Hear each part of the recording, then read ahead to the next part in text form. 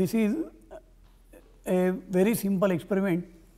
I am having a utensil, I am pouring this water into this mug and now it is empty. Now, I am keeping this on the table and I take one magic stick and make a magic on this utensil and you can see the magic. Again I made it empty. Once again 1, 2, 3. The magic is so powerful that I can generate water in the empty utensil by simple trick. I can give you as much water as you want. It is unlimited stock of water. You want to see it again? Just see it. 1, 2, 3. And like that, I can do several times.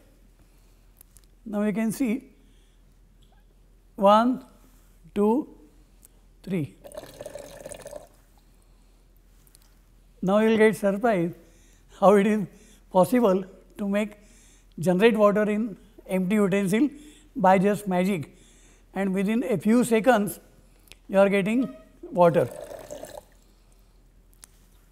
Actually, there is no magic, there is no cheating, nothing. There is simple science, because inside this utensil there is one more utensil that is pail glass like pail and this pail has a hole at the bottom.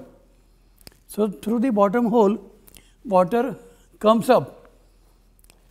I can see the water coming up from the bottom hole and when I make it empty there is no water in this utensil at all you can see this.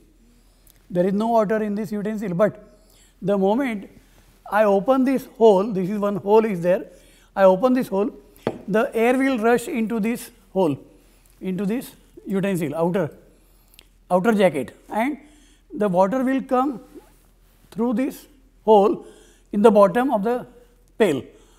So, when water comes here, I again pour it. Now, you feel it is empty. Again, I keep it on the table and make some magic and you can see the water is there. But now, some people will say do not keep it on the table, do not make any magic on it, hold it in the air and show the water coming out. I can do it. Now, you can see 1, 2, 3, see the water coming out. Now, people wonder how water comes out from this hole. Actually, water was there in the outer utensil and this inner one is now empty. Now, what happens? Air goes through that hole in this pail and water comes out from here. This is based upon very simple basic fact that if you are having two utensils connected at the bottom and they are having some water level, one is higher level, one is lower level, then in the connected utensil water always goes from higher level to lower level.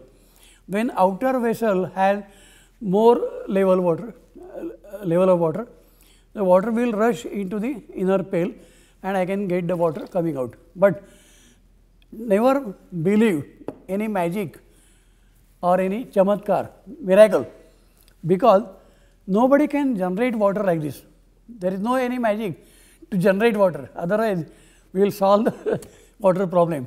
Thank you.